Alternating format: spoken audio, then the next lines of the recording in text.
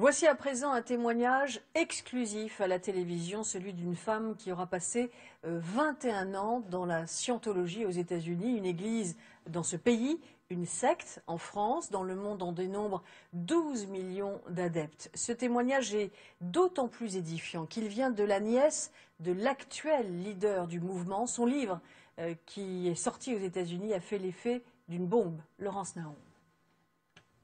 Cette femme est devenue l'ennemi numéro un de la scientologie.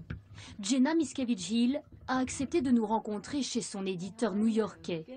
Rescapée de la secte, son livre témoignage lance une bombe sur cette organisation aux millions d'adeptes. Ce n'est pas une religion d'entraide. C'est en fait une organisation qui abuse de vous et vous détruit. On vous y fait un lavage de cerveau. Jenna a deux ans à peine lorsque ses parents intègrent la scientologie. Elle vit, grandit dans la secte, au rythme des camps de rééducation punitifs et des travaux forcés même pour les enfants.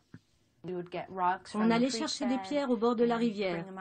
On les rapportait là où devait être construit le mur. D'autres enfants mélangeaient le ciment. On faisait ça qu'il fasse chaud ou qu'il fasse froid. De mes 12 ans à mes 18 ans, je n'ai vu que deux fois ma mère et mon père quatre fois. À chaque fois, c'était moins d'une heure.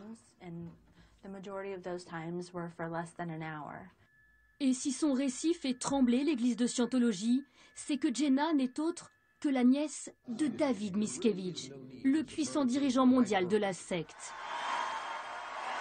Adulée par les adeptes, courtisée par les stars comme Tom Cruise, membre éminent de l'église. Et le statut familial de Jenna ne lui épargnera aucune violence physique, aucune pression psychologique. Ils ne voulaient pas que mon compagnon et moi nous nous marions. Nous avons eu des relations sexuelles avant le mariage et nous avons eu d'énormes problèmes. Ils ont enlevé mon mari, l'ont frappé dans une cave. Ils disaient le purger de ses intentions diaboliques. Après 21 années passées au cœur de la scientologie, Jenna Miscavige-Hill a trouvé le courage de s'enfuir, non sans difficulté. Elle espère que son témoignage servira d'électrochoc à une Amérique qui ne reconnaît toujours pas la scientologie comme une secte.